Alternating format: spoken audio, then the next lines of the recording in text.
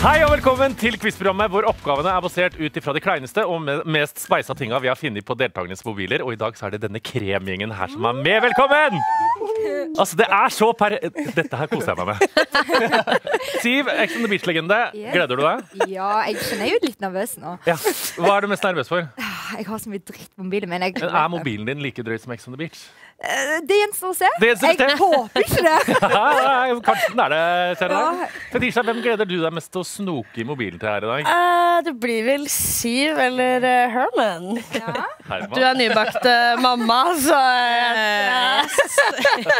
Du sa Herman. Herman. Ja. Har du funnet en partner på sida her allerede? Ja.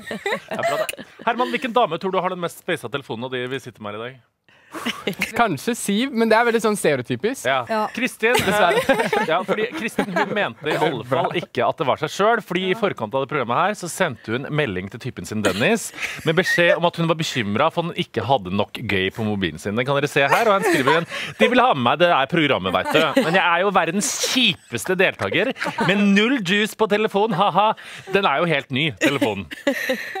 Men så stiller Dennis da opp, som den gode kjæresten han er, og sender, fyller telefonen hennes med ting å snakke om.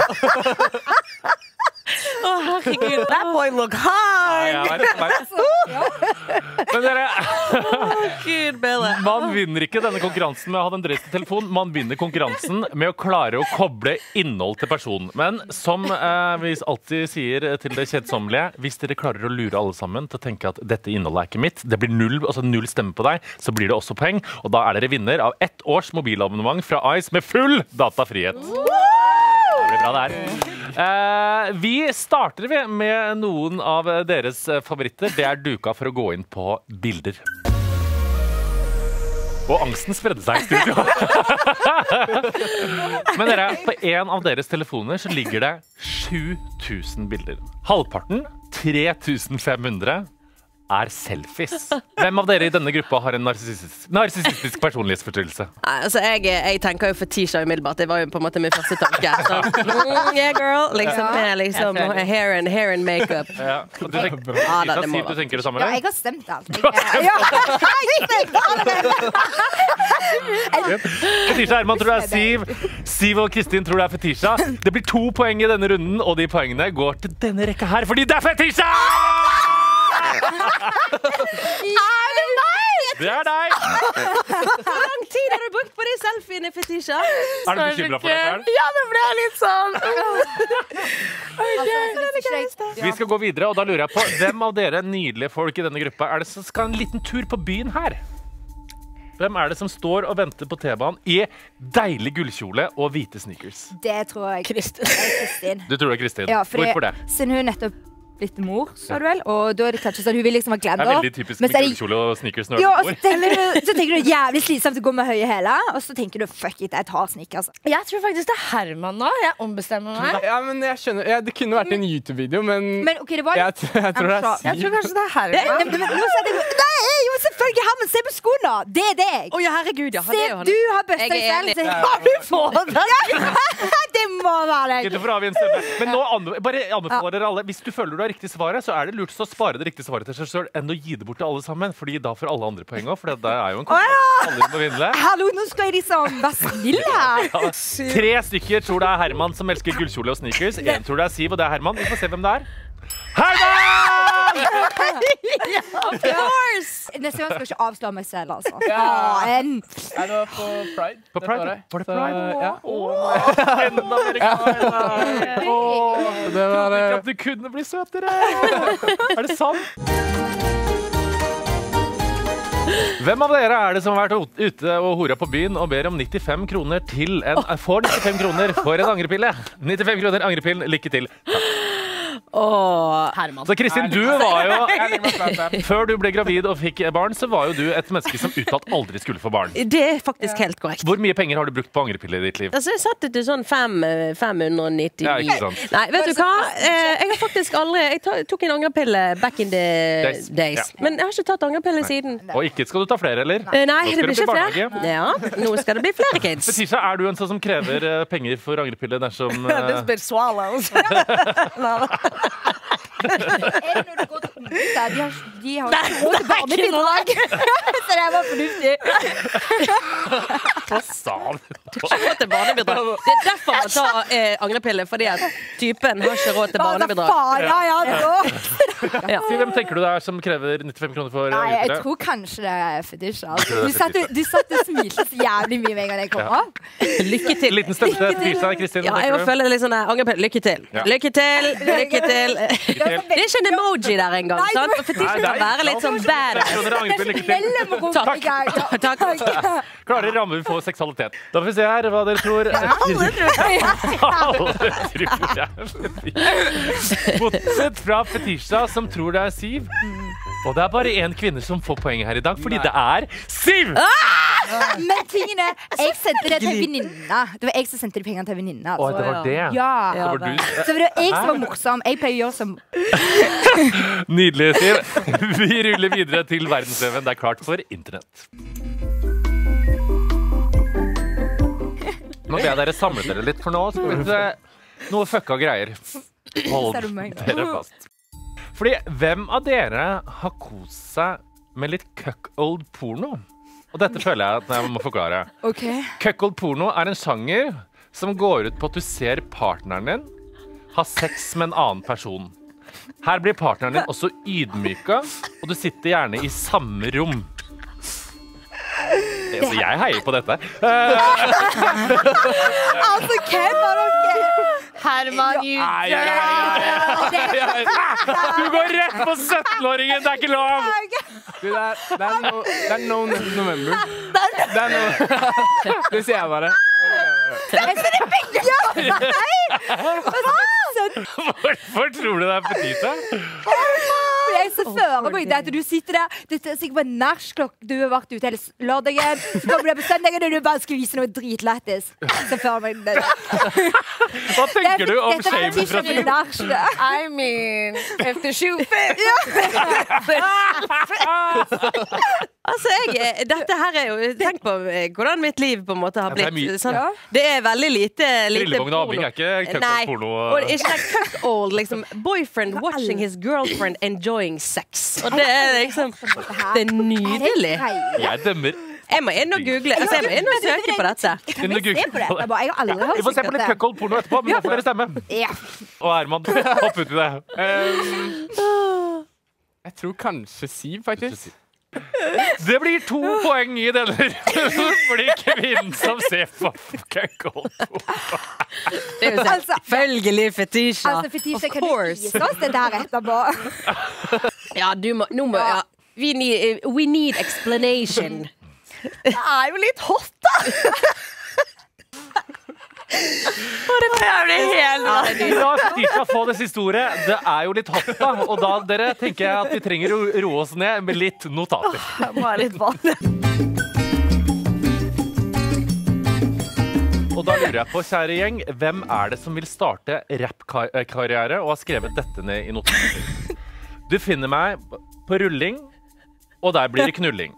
Trodde du skulle vinne, men du tar og forsvinner. Du kan faen meg ikke komme tilbake til meg, din jævla keg!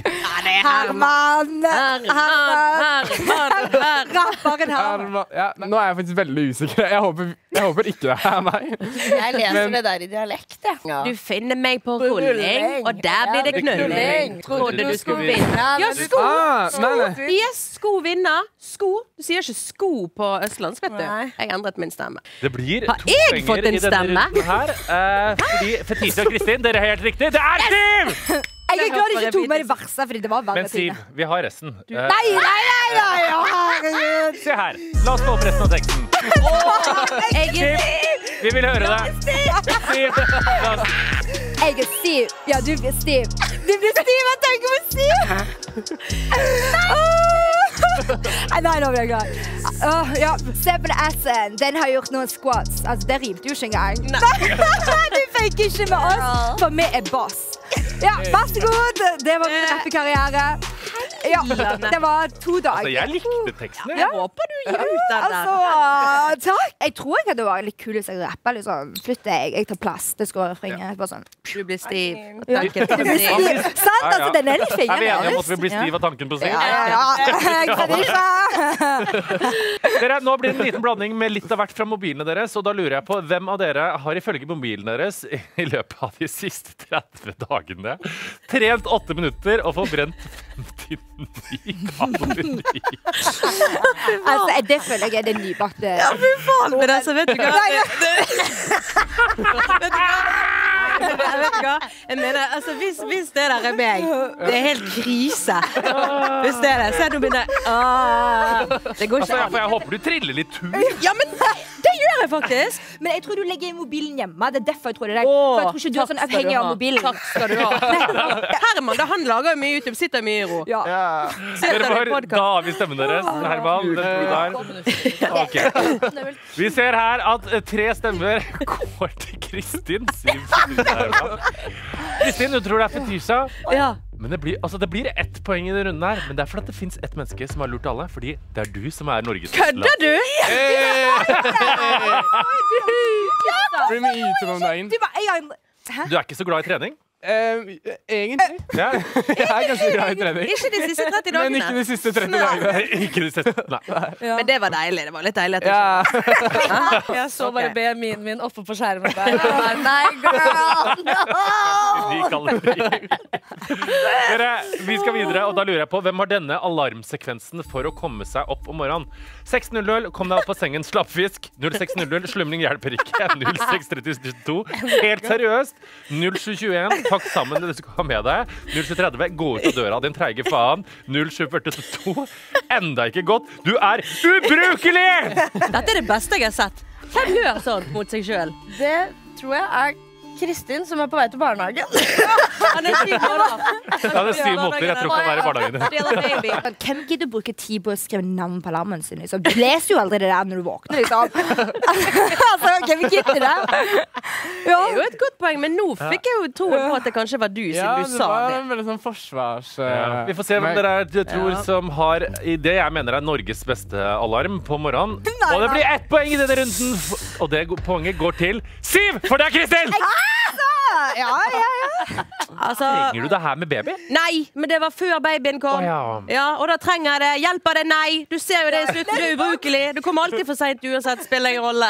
Dere, nå skal vi til det verste jeg finner i dette gameshowets historie. Fordi vi har funnet en SMS-utveksling med resepsjonen på et hotell. Og hvem av dere trenger å kraftig hjelpslep på jorda? Få se her. Her er SMS-utvekslinga med resepsjonen. Kan du bare sjekke om du har et litt større rom i toppetasjen? Så skal jeg gå ned etterpå. Supert. Eh, vil helst ha et rom med sittegruppe. Vi har tatt ut svaret fra hotellet, riktignok. Eller terrasse. Vil helst ha 13 etasje, hvis det er mulig. Er det mulig å få ti glass til rom 11 Takk. Kan dere ta med sugerør òg? Takk. Har dere isbiter også? Chromecasten på rom 22 fungerer ikke. Fy faen. Kan dere fikse det? OK, kan få et Altså eh, Siv, how dare you? Du tenker deg, Siv? Ja, med de der sugerørene. Ja. Jeg har aldri kjent på gøyere stemning mens de er Stopp en oppgave. OK. Gud. Fetisha, hva tenker du om denne typen? Jeg tenker, you need to calm the fuck down. You need to calm your white little ass the fuck down. Ja, du må slutte å stive her, mann. Altså, dette er det Her er det tre stemmer på Siv og én stemme til Fetisha fra Siv. Og riktig svar er Siv! Altså, jeg prøver det her, OK? Ja, men det er så du på de- de på- Det er så kjipt på The Hub. Hver gang jeg kommer på The Hub, de bare Siv. The audacity, Siv, girl. jeg heier på alle kjendiser som gjør det lille ekstra og leverer innhold her, så Men var- applaus. Ja, men altså, det, de, de, de kommer med det òg. Det er jo det som er verst. Vi skal gå litt røffere til verks, fordi det flørtes en del på telefonene deres. Og denne her, den elsker jeg. Fordi hvem er det som har tatt direkte kontakt med den, med den Kardashian-kjente rapperen Taiga og skrevet 'What's your Snapchat?' tunge? Og så har Taiga svart 'What's yours?' You are thirsty, If You are thirsty. Alle tror det er Fetisha som har sendt eh, svar til eh, melding til Taiga og fått svar. Eh, vi kan sjekke hvem det er. Siv. Wow. Nei, jeg snapper med noe, altså. Men hvordan fikk du uh, Du snappa med Taiga? Ja, jeg. Hva Nei, sendte du? nei, men jeg sendte faktisk ikke et drøyt bilde, så han, vi snakket ikke så mye på Snap. Fordi jeg sendte nok ikke drøyt. Hva sendte han da? Nei, Han spurte bare sånn Hvor er du, og hvor er du fra? Bare sånn, lurte på. Herregud, jeg kjenner jeg blir sjalu. Fetisha, hva tenker du om det her? Jeg tenker at jeg skulle også gjerne gjort det der. Jeg får ikke en tekst tilbake Hasse Hope engang, liksom. Så jeg skal bare slå Nei, da. Svar. av. Ja, sure. Ja, ja, Hvem vet om det blir et forhold mellom Siv og Taiga? Det håper jeg på. Det hadde vært ikonisk. Dere, Vi skal inn i siste runde, hvor eh, de avgjørende poengene deles ut. Den som leder, er alle. Hæ? Det er helt likt. Kødder du? Hva? Det er helt likt. Så nå må dere skjerpe dere, Fordi nå skal vi ta en liten vri her. Fordi nå skal vi sjekke hvor godt kjenner dere hverandre. Dere skal få spørsmål med påstand, ekte eller falskt, og dere skal svare. Ja. Kristin, vi starter med deg. Okay. Er Herman medlem av denne gruppa Gutter på 30? Ja, altså, det verste er gutter på 30. Nei, han er ikke gutt på 30, men jeg tror han er medlem. Ja, falsk. Nei, det er ekte. Riktig. Oi. Det er, ja, det er podkast. Er det podkast? Ja, det er podcast. Gutter på 30? Ja, med Halvor. Halvor. Siv, Ja. har Fetisha skrevet dette på Facebook? I got ass for days, you got dick for minutes. Klar for helg. Ja, selvfølgelig. Ja. Ja, ja, ja. Det tror jeg. Det er falskt. ja, bare nei. Fetisha, er Kristin medlem av denne gruppa? Blogger om moral. ja. Jeg håper det ikke, men jeg tror det er det. Det er falskt. Herman, er Siv medlem i denne gruppa? Unnskyld meg, for hvor mye veier du uten sminke? Det var en, et rart navn, så jeg tror ikke. Det er sånn Jeg tviler. Den er ekte. Nei, er jeg det? Det er mye. Veier du uten sminke, da? Hva, hva skjer i den gruppa? jeg lag... Jeg... Hvor mye veier du uten sminke? Vi veit ikke hvor mye Nei, Siv jeg veier uten sminke, men det vi veit, er at vi har kommet fram til en vinner. Men før vinneren kåres, så skal dere alle sammen få en gave fra Ice med personifiserte mobildeksler som en takk for innsatsen. Eh, her har vi da Kristi Gjelsvik sitt med alarmklokkene ringende på. Vær så god. Well, well, well, thank you. Her har vi Herman Dahl med teksten 'Glad i mor di'. Gratulerer. Her har vi Siv som transvestitt. Eh, Det er min ekte hårfarge òg, dette er på ekte. Jeg hadde det en uke. Og her har vi Fetishas søkelogg på Oi, det var kult. Ok, den skal jeg faktisk Altså, bruke. Ja, ja, ja. det skal du. Men den som stikker av med seieren, og som klarte best å koble innhold til person og samle flest poeng her i dag, det er Kristin Gjelsvik! Du får ett års gratis mobilabonnement fra Ice med full datafrihet, dvs. Si 1000 gigabyte i måneden. Jeg trenger jo gigabyte i livet mitt. Gratulerer. Helsike, tusen takk! Yes! Jeg vinner aldri noe. Helsike, så digg dette var. D- Dere, vel fortjent seier. Det var helt fantastisk å ha dere i studio. Tusen takk for at dere kom. Takk for at dere står på Mobilsnokkershow.